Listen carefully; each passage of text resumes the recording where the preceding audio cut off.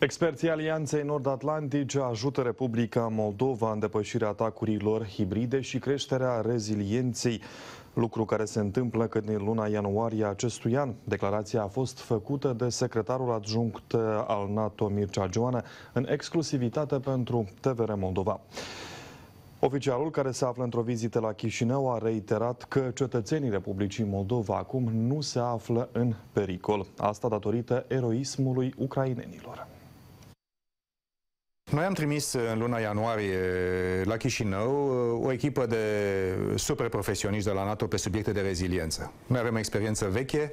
NATO a început să vorbească și să lucreze pe reziliență în 2014 și acest an rezonează apropo de ocuparea ilegală a Crimeei și a unei părți a Donbasului. Deci avem experiență vastă. Și echipa noastră uh, a făcut deja recomandări uh, către autoritățile de la Chișinău. Le-am discutat și cu doamna președintă, și cu primul ministru, și cu ministrii din cabinet, și cu Ministerul Apărării.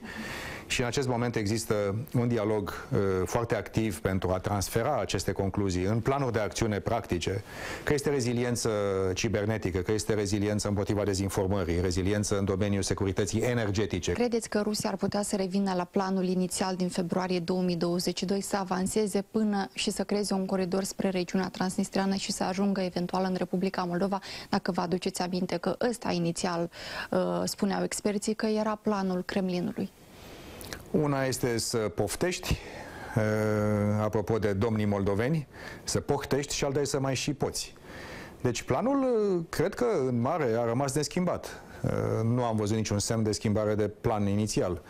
Numai că uh, eroismul ucranienilor, faptul că au fost antrenați uh, pe metode NATO din 2014, uh, faptul că noi suntem atât de uniți în NATO și în Uniunea Europeană în sprijinirea Ucrainei, face ca acest plan să fie practic imposibil. Deci pot să dau încă uh, o dată o, o confirmare și, dacă vreți, un semnal de calm și de, de încredere pentru toți moldovenii, indiferent de ce preferințe politică au sau ce limbă vorbesc acasă.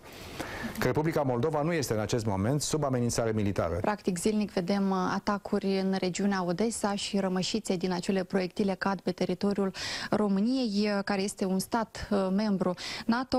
Ce măsuri ia Alianța pentru a reduce sau chiar a elimina aceste incidente revoltătoare?